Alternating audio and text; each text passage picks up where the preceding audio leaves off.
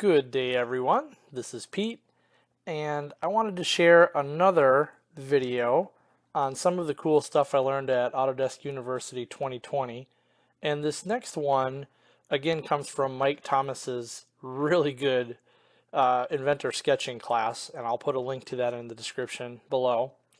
But there is a, a topic that I didn't realize you could do. So this is something completely new to me. I thought this is really cool but sometimes when you're working in an assembly and you want to grab parts of another piece of geometry, like for example, I want to create a gasket for the top of this motor, and I want to project the edges of this um, this little attachment point onto a new part into a new sketch, but I don't want to create that adaptive relationship.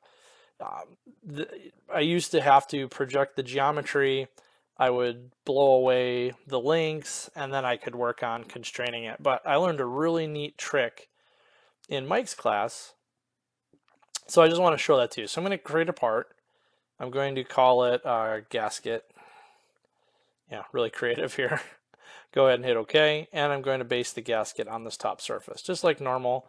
And then I would create a sketch here and I'm going to base that off of this part right here, the XY plane, and then I would launch into the project geometry.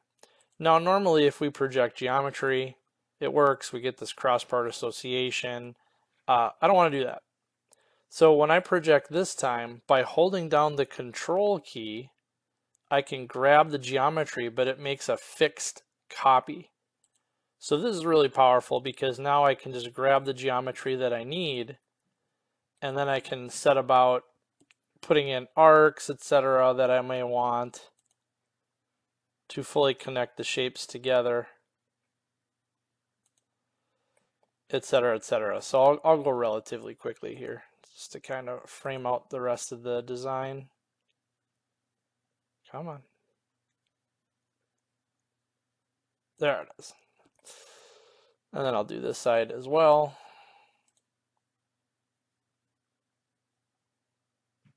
There it is. And there's a couple of lines. So the, the critical part was I was able to grab the geometry that I needed and now I can play connect the dots to, to fill out the rest of the shape. So you could, if you hit F8, you could get rid of all of these constraints to fix it, and then you could parametrically design the rest of the part, give this a diameter, etc., all the sizing. But just for the sake of time, I'll leave it. I'll finish the sketch. I'll go ahead and extrude this shape and I'll just pick this profile and we'll say it's, I don't know, an eighth of an inch or something. And voila, I've created the part, but notice there's no cross part association.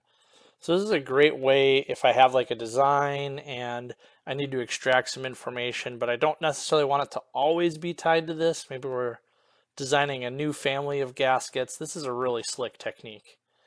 So that's it. It's just another way to use existing geometry, reference it, but then not actually create that associative link.